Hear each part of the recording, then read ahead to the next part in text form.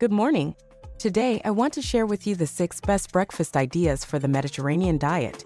Trust me, these are not only delicious but also super healthy. First up, we have the classic Greek yogurt with fresh berries and a drizzle of honey. It's creamy, tangy, and packed with protein and antioxidants. Next, we have avocado toast topped with sliced tomatoes and a sprinkle of feta cheese.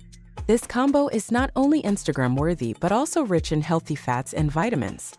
If you're a fan of eggs, try making a Mediterranean omelette with spinach, olives, and a touch of feta. It's a savory and satisfying way to start your day. For something quick and easy, whip up a smoothie bowl with frozen fruits, almond milk, and a handful of nuts. It's refreshing, energizing, and full of vitamins and minerals. If you're craving something warm, go for a bowl of oatmeal cooked with almond milk, topped with sliced almonds, and a sprinkle of cinnamon. It's a cozy and nutritious breakfast option. Lastly, we have a Mediterranean style breakfast wrap. Fill a whole grain tortilla with scrambled eggs, roasted veggies, and a dollop of hummus. It's a portable and flavorful way to enjoy a Mediterranean breakfast on the go. So there you have it, the six best breakfast ideas for the Mediterranean diet. Give them a try and let me know which one is your favorite. Stay healthy and enjoy your breakfast.